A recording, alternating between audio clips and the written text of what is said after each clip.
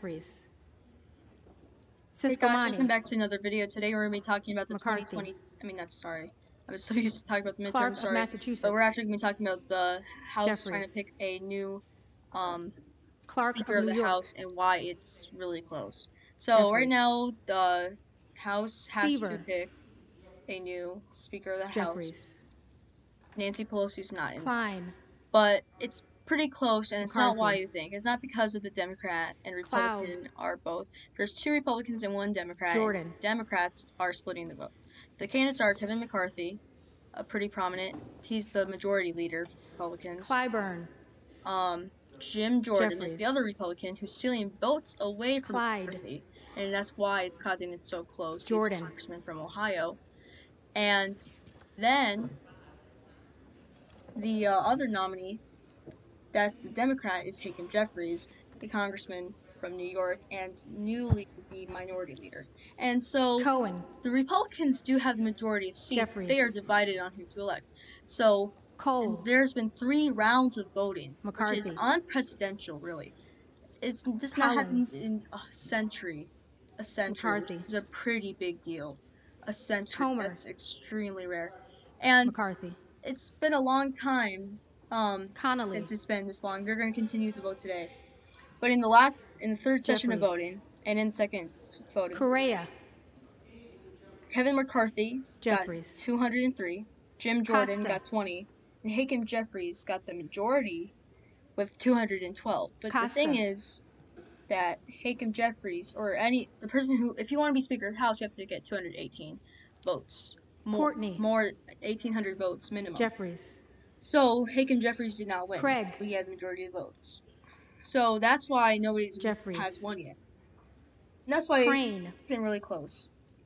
And both of the three Jordan. candidates have different strategies. Kevin McCarthy, Kevin McCarthy's strategy just kind of sit there and not Crawford.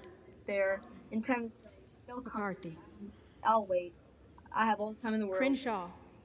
Which I don't know how it's working. McCarthy. He did lose one voter overall today, which it might not be Crockett. seem that big of a deal, one voter. But when it's becoming increasingly close and we're trying over and over again to finally elect a speaker, Crow. Deal. So maybe Kevin Jeffries. McCarthy would want to rethink that because they had a I don't remember what's called Journey or something, recess or something like that. So now they're pausing it Curtis. until noon tomorrow. So this could give time for Kevin McCarthy to rethink. Jim Davids Jordan's strategy Kansas. Is to really trying to get people that are already voting for him, like Matt Gaetz is one of them, to like Davidson. talk to them and start rallying up people that don't love McCarthy, McCarthy. but are not sure about voting for Jim Jordan.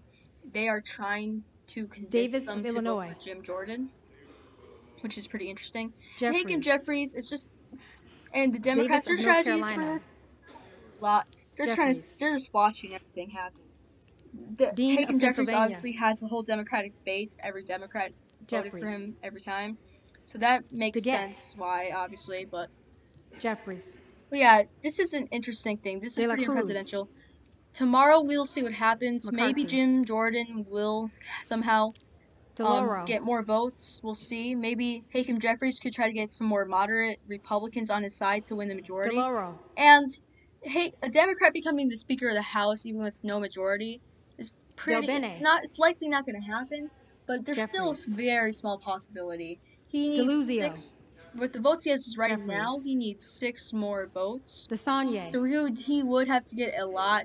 Well, it Jeffries. might, well, six votes doesn't seem like a lot. But when you were working with Republicans, it's not too much moderate McCarthy. Republicans in the House, like four. D'Esposito. So, yeah, it's really interesting what's going on. We'll see Diaz what happens tomorrow. I will be doing my coverage on the still.